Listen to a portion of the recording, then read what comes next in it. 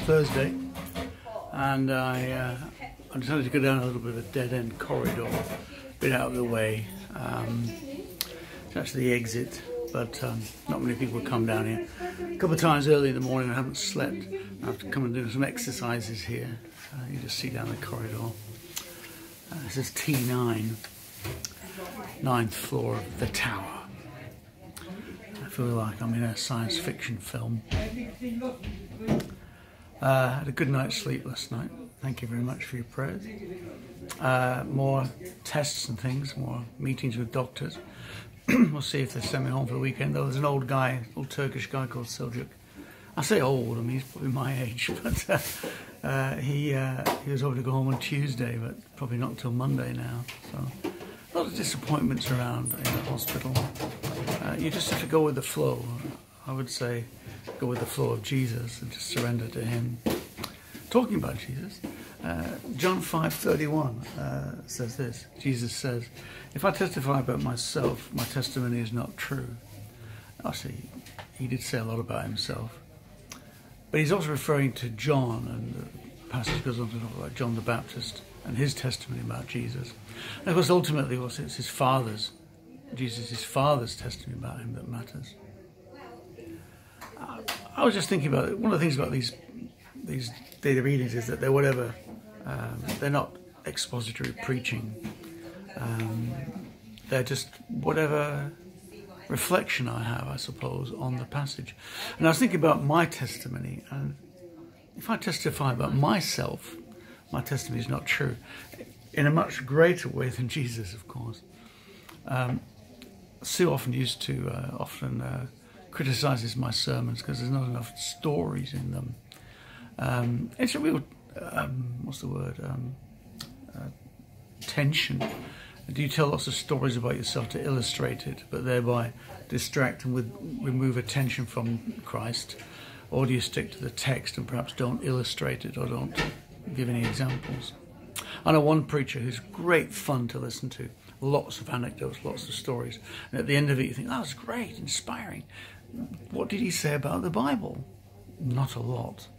Always has a verse to start off with and then goes all over the place. Uh, very inspiring and entertaining. Um, you probably know who he is, so I will not mention his name. Uh, but um, at the end of it, I'm always thought, well, it didn't say anything about God, about the about the Bible. It's all about God, but not not from Scripture. I think that's a weakness in some some kinds of preaching. Some kinds of preaching, it's just all exposit, exposition and no application and no illustration is a lecture, which can be useful as a lecture, but not as a sermon to give you life on a Sunday morning. I want to tell you a story though. Uh, today, um, I was a few guys in the in the side ward that I'm in, and tried to get to know them. And um, uh, found out I was a pastor, and uh, he was in a lot of pain, and they wouldn't give him any medication. I'm not sure why whether they were justified or not. I don't know what the rights and wrongs are, but he, he said to me, he said, uh, he did it. I said, what? He gave me the medication. I said, oh, that's great. I'm really glad. He said, yeah, yeah, yeah. I prayed. Uh, I said, I said to God, I said, Steve's here, a vicar. Steve's here, so do something. And he did. God hypnotized the nurse to give me the medication. So that's an answer to prayer. It's not exactly saving faith, It's not exactly theologically correct, but it's the beginnings of faith in that man's life. He's had some kind of God encounter here in a hospital.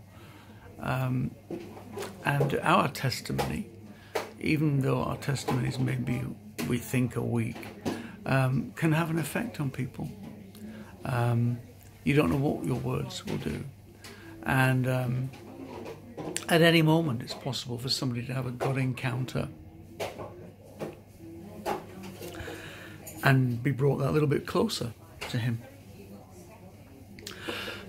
so that's a story, that's an illustration.